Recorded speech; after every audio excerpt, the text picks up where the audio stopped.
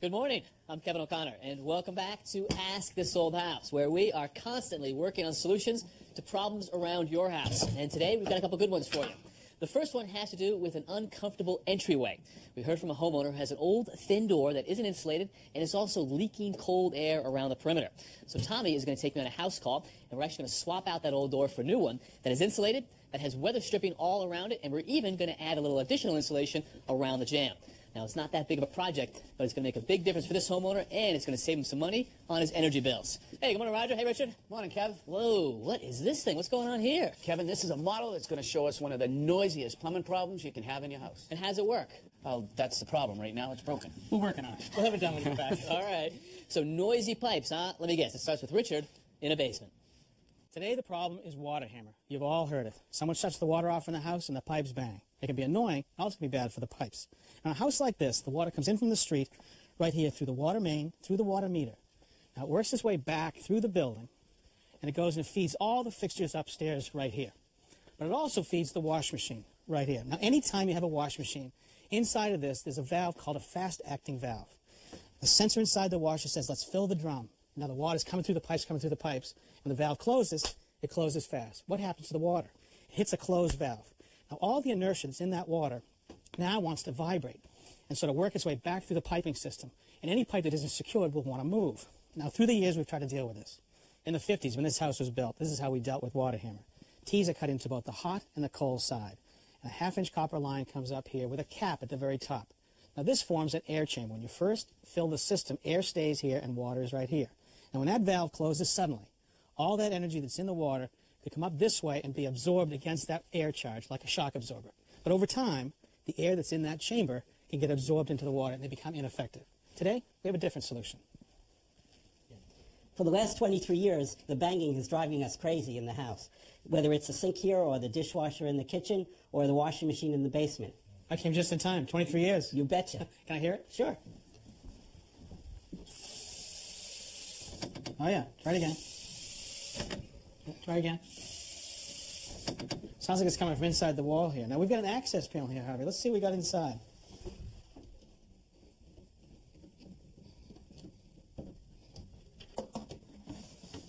Okay, Harvey, what we're looking at here is the back side of the bathtub. You can see the tub right here. Here's the overflow for the drain. And here's our hot and cold piping. Now, anytime I think about water hammer, I think about pipes that aren't secured properly. So I shake this around. The, the cold's not too bad. And the hot's pretty bad.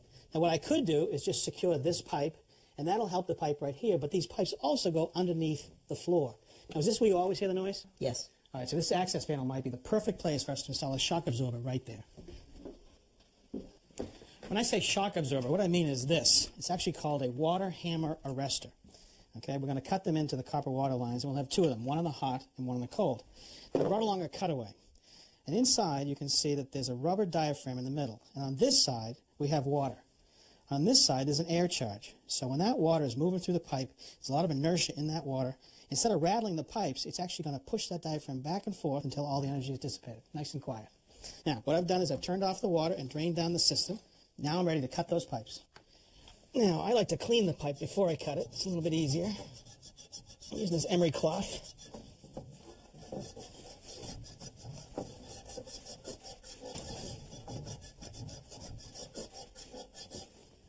The water hammer arrestor is going to connect into this T, and the T will solder into this hot water line.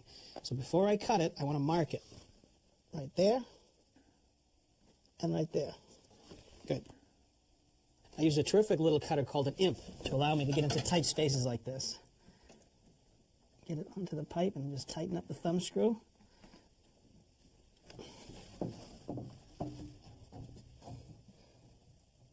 Now I could cut this with a hacksaw blade, but a pipe cutter makes a much cleaner cut.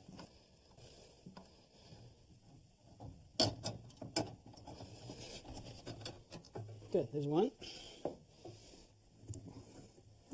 So I'm just making the upper cut to allow for that T to fit in there. Now we work on the cold side. Good. Apply flux to both the pipe and the fitting and connect it. And same for the cold side.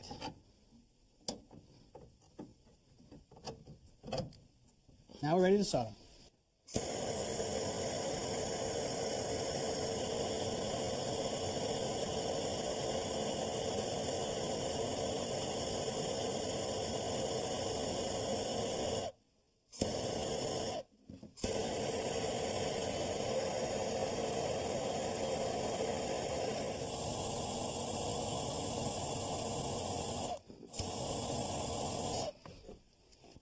Now on the threads to the water hammer arrestor, I've applied a little Teflon tape, and now we're ready to thread them into the T's.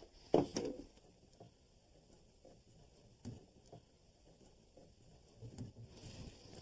use an open end adjustable to tighten them up.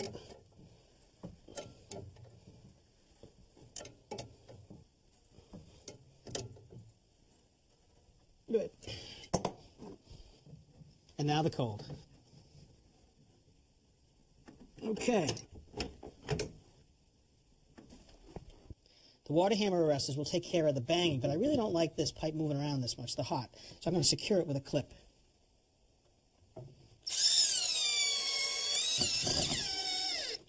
Good. All right, access panel's in. Let's give it a try. I'll listen right here. Open up full and shut it off fast. Try it again. What do you hear? Just water. As it should be. Excellent. Thank you, Rich. My Thank pleasure. you very much. You know, when you have these troubles, don't wait 23 years. Give us a call. We're glad to help. Well, actually, my boiler needs attention, and the, the dishwasher also is leaking. Yes, send us an email, Harvey. Love you. Sure. Yeah. You know, that's not nice. No one's going to email he was a good sport. So throughout the entire house, how do you decide where to put a water hammer arrestor? Well, it really depends on where the noise is coming from. If I had a single quick acting valve in the basement, like that washing machine valve, and that was the only place the noise was coming from, I would put it right near the washing machine. Right. But this was different. Any valve that was open to close in the whole building was causing that noise upstairs in that second floor bathroom. This was really a case of improper plumbing. When that water pipe was run underneath the bathroom floor, it wasn't supported with clips like this, so it was just banging against the back bottom of the floor. Okay, so we didn't have clips, but you said it was caused by any faucet throughout the house. So in that situation, where do you put the arrestor? I wanted to get the source of the noise, and that's right up inside that access panel behind the bathtub. Perfect. Gotcha. And if you weren't so lucky to have an access panel like that? Well, I would have gone underneath the vanity sink, right, five feet away. Okay, that'd be good. And so this is sufficient, just this little device. It is. Let me show you this demonstration. I think it'll really become clear to you. Let's pretend this is our second floor bathroom sink right here. Gotcha. Okay, and here's a water hammer arrestor. I'm going to turn it off. So that means this will not be working. Right. Now, normally, between the second floor sink and the basement, there would be 50 or 60 feet of copper pipe going down inside the wall. Yep. So instead of straight pipe, we just have it coiled up inside here, unsupported. So this represents the run-up pipe that would go between basement up to the second That's floor. right. You just got it all contained. So now when I open up this faucet, Yeah. the water's going to move through all that piping. When I shut it off, Oh, there Okay. it is. do it again.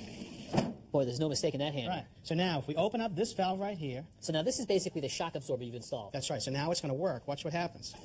Close it off. Oh, That's nice. Isn't that something? So hearing is believing. All right, guys, this one's really interesting. It has a solar panel, it has circuitry, and it even has a white gear down there. But here's the giveaway green plastic top and a metal hook. What is it? I know exactly. Do you? I, I didn't think that was interesting at all. Actually, you got a guess? Give me that thing. Yeah, I got to guess. I know exactly what it is. It's going to solve so many problems. Because, you know, when Jonathan Bob invented the Bob, uh, it didn't actually plumb up the way he expected it to, right? Oh, you're talking about the plumb block. Yeah, yeah, yeah. The problem with the plumb bob is it only tells you if, if things are plumb, but it doesn't tell you if things are flat or Level? straight. You level? Or that too. It's supposed to. well, this thing tells you all of that stuff. It tells you if it's plumb, if it's flat, if it's not because it shoots out this Are you optical done? eye. Are you done? Good night, John Bob. Oh, good night, Mary Lou. you know what? Christmas time is here when we run all the Christmas lights on the tree. Well, this is a cordless, cordless, get this now, tangle free Christmas light. Wow. Stores energy in the day, lights up at night. Automatic. Oh. Don't trip on any wires, they don't get tangled. Just hang them all over your tree, all over your house. Beautiful. Nice look, too. Yeah. No electricity. Tis the season, huh? Well, this little photo cell could come in handy. Hang this on your rearview mirror, and you're driving around. Think about the energy that's stored here. It could be 9, 10, 11 gigawatts. Just all this power sitting there. So you're driving. You never know what you want to have a little specialty drink. You throw anything in here. Banana, raspberry, some mango. Where are you getting it? Ooh, mango. Specialty drink. Where you getting? Little Where smoothie. you getting all the fruit? Well, you carry it in your glove compartment. Well, I suppose I should have showed you guys this ahead of time. And Richard, you were almost close. Really? This actually takes the sun's rays, powers that little white gear I showed you, and when you hook it on a plant, It holds it up plumb. it doesn't hold it up plumb. It turns it very, very slowly. So instead of you having to climb a ladder and move your hanging plant, it rotates so you get growth perfectly all the way. I was going to say that. Good night, Roger Bob. So here's the door we're going to replace, and it's a pretty good time to do it. You can see the homeowner's got several projects going on. They have blown in insulation into these walls, and they're in the middle of a new siding project. This is actually going to get all brand new clapboard, so that's going to look nice. And it's a good time to change out this door, which doesn't look that good. Actually swollen up a little bit as well. And it's not a very good door when it comes to insulation, is it? Well, the door itself, the stiles and rails are a good inch and three quarters thick, and that actually is pretty good insulation. But the panels are thinner than the stiles and rails, and especially where the panel meets the stile and rail, it's only about that thick, so very little insulation. It's Going to be a cold door. And then up here, he's got two glass lights. And these are just single panes of glass, so that's no good for insulation either. Right. So this is going to get replaced, and you have picked out an alternative for us. Right, we're going to replace it with this fiberglass door. Start right down here. It has aluminum threshold. Mm-hmm. Now the door is actually made out of one piece of fiberglass. It's stamped to look like a panel door. You can actually see the wood grain and the stiles and rails. There's actually little seams there. So the illusion is that these are all separate pieces, but essentially just one big piece. Right, and it has a foam core in it, so it's a very efficient door. Right. Foam in the middle, but obviously some real wood on the perimeter, right? Right, you need a good backer where you mount the hardware. And on this side of the door over here, where the hinges are, you want to be able to screw that into the wood. Okay. Also two lights, Two lights of glass that are insulated, very efficient. dual pane right there, and I notice you've got some weather stripping around the uh, perimeter. Right, the weather stripping comes up both sides and across the top, and it's, it actually compresses when you close the door into it, making a nice tight seal there. And so that is built right into the jamb, which is pre-primed, and the whole door is pre-hung for us. Right, so all we have to do is pop out the old one and put in the new one. All right, now we're ready to cut the jamb out using a reciprocating saw. I'm going to cut the nails right there. There's one.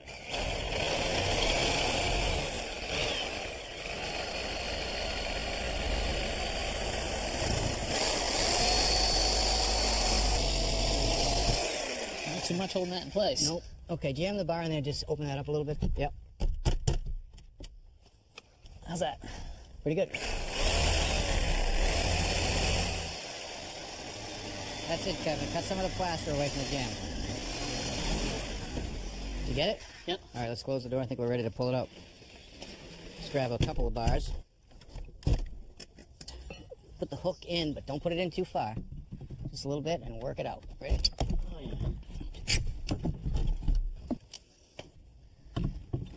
Nice side's free. Okay, pull it right down. Threshold's gonna stay. That's all right. We'll get it later. Okay, right there. Step. Okay.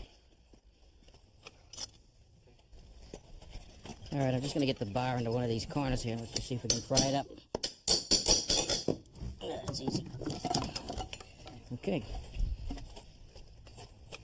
Now, when we put the new door into the new opening, we want to set it on a level subfloor. And this subfloor is not level, and it's also crooked. Not surprising with an old house. No. But we also want to raise the entire door up about a half an inch. Why's that? Well, the new threshold is actually thinner than the old threshold. And we want the door, when it opens, to clear a carpet or a rug if they should put it down on the floor. Okay, so how do we raise it up and make it level? A couple shims across the front? Well, we could shim it, but I like to take a piece of 2 by 4 like this, put it across the opening, mm-hmm. put my level on it like that. Now I want to just shim my 2 by 4 make it level. So this is obviously too big for the opening. You're going to scribe this? Right, and I'm going to put a mark right here, half an inch down from the top, onto my 2 by 4 because that's how much I want to raise the door. Mm-hmm. Now I'm going to set my scribes from the subfloor to my mark. Mm. Tighten them up. And I'm simply going to scribe right across. Don't push down. Now I just scribe it following the subfloor. Just going around that shim there. Yeah, I'll just connect the dots afterwards. I cut along that line with a saw.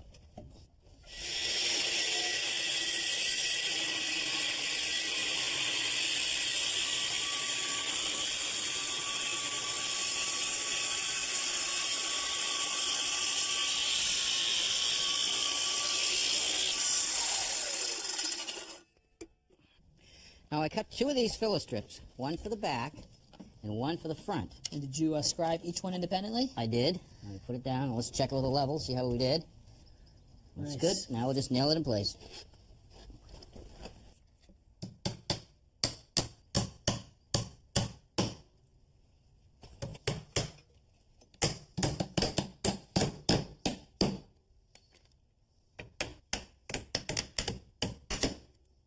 Now I cut a strip of this self-sealing membrane that will flash underneath the door, sticky on the back. If it gets penetrated, it will seal on its own. So we peel this off. And we want to go about two inches past the opening, Kevin. Stick it on this piece down below. Keep it tight. Stick it right to the wall. Okay. Now we're going to try to bend it into the opening. All right, now we want to cut it right here in the corner, but hold on to the piece after we cut it. Okay? Got it. Got it? Now, just let the front edge slide down. Okay, now the top edge, I want to roll it back on itself. And why are we rolling it back on I'm itself? create a little tube Oh. as a seal. So this will stick right to the bottom of the new threshold? Right. Put a little piece in each corner.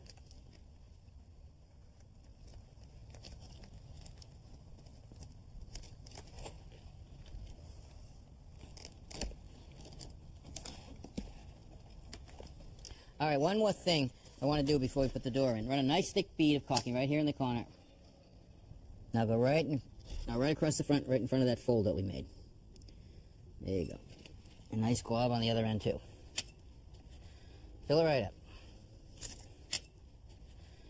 All right, those two pieces of scrap wood that you screwed on the face of the jamb, that's actually to hold the door from falling through the opening when we put it in, but it also will hold the door flush with the exterior wall. That's a nice little trick. All right, now it's nice and flush with the wall.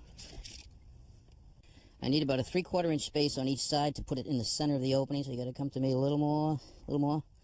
Okay, right there. Check your side. Three quarters right on. All right, let's check the threshold for level. That's pretty good. All right, I'm going to put a shim in here, and I want you to put a screw right through the shims, but pre-drill it first. Okay, that's good. Nice countersinking bit there. Nice big long screw. That's a three and a half inch deck screw, so it's an exterior screw. Okay. Yep. Now with the threshold level, we're ready to plumb up the hinge side of the door, and to do that, we're going to use this level right here. So we're tacking the bottom. Right now, the top's got to go towards you a little bit. All right, back it off a little. All right, let me get some shims in here. Tap the shims in. Screw this guy off too, Tommy. Yeah, drill right through shims. Okay, countersink. Switch bits. Second screw.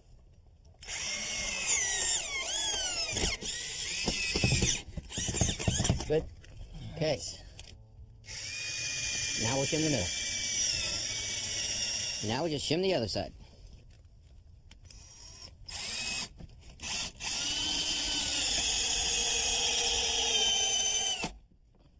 Now the top hinge is actually missing two screws. The manufacturer supplies two longer screws to go through the jamb, through the shims, and into the structure. Now remember, the door came pre-bored for the lever and the deadbolt. Okay, that was nice and tight. Okay, now I'm going to spray some insulating foam around the opening. I'm using a minimal expanding foam because I don't want the jamb to bow.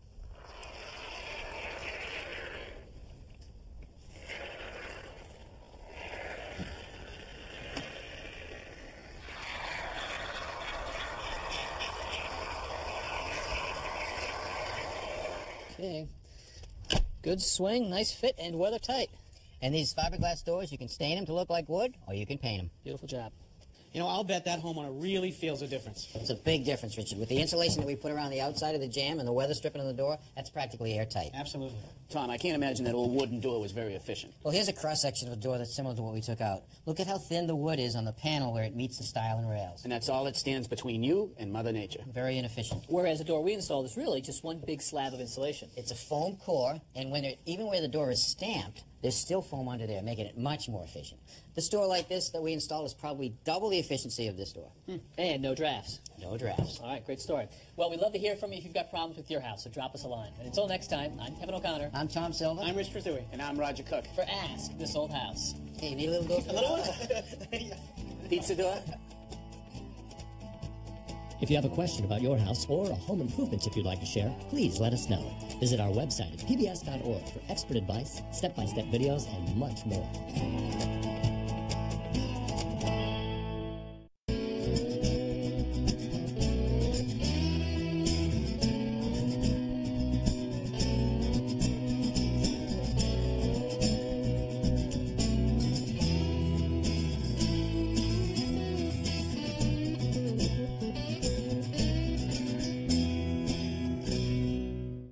Next time on Ask This Old House. You guys ready to play some golf? Yeah. All right, give it a ride. We roll out an entire episode of fun projects to do with your kids. It Promises to be a real blast. This Old House magazine, the companion to the television series, provides advice from our experts that you've come to know. You can use your credit card to order 10 monthly issues for $10 by calling 1 800 221 5900.